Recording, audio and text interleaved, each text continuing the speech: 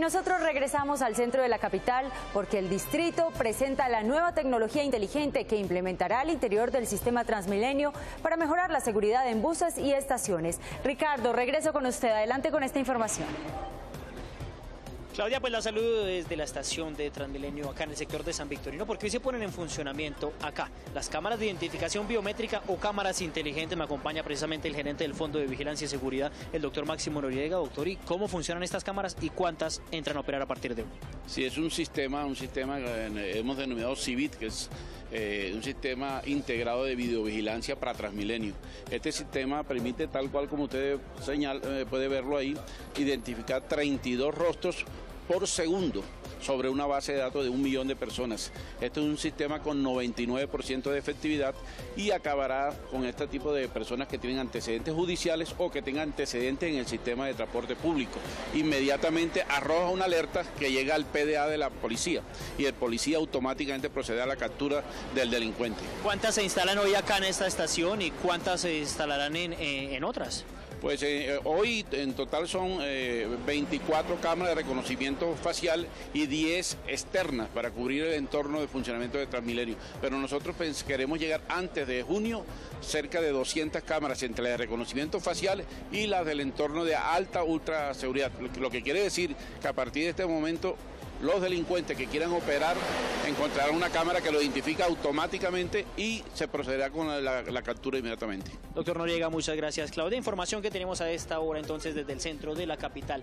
Más de 200 cámaras espera instalar el Fondo de Vigilancia Transmilenio, así como la policía, para garantizar la seguridad de los usuarios antes de junio de este año. Información entonces a esta hora desde el centro. Continúe usted con más noticias. Gracias, Ricardo. Civit es el nuevo nombre de este sistema de vigilancia y precisamente estas cámaras cámaras biométricas son presentadas luego que se conociera una encuesta sobre la percepción de seguridad en el sistema de Transmilenio, que arrojó resultados negativos por parte de los usuarios.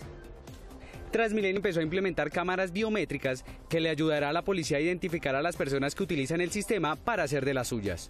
No es una tarea que hace un policía detrás de una cámara, aunque va a estar allí, ¿cierto? Quien hace el reconocimiento en realidad que es el software, ¿sí? El hardware que usamos son cámaras biométricas de alta definición que están instaladas en los portales y estaciones. El ingeniero encargado del sistema aseguró que las cámaras identifican el rostro del sospechoso y lo cotejan con bases de datos de la Policía Nacional. El sistema toma capta biométricamente a las personas, le hace un escaneo del rostro y lo compara con lo que tenemos en esa base de datos.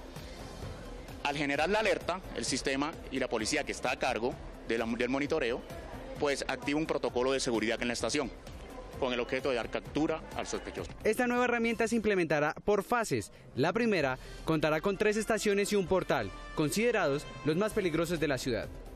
Reconocimiento facial de 32 rostros por segundo. Y en noticias regionales, las autoridades de Cali revelaron otro caso de feminicidio en la capital del Valle.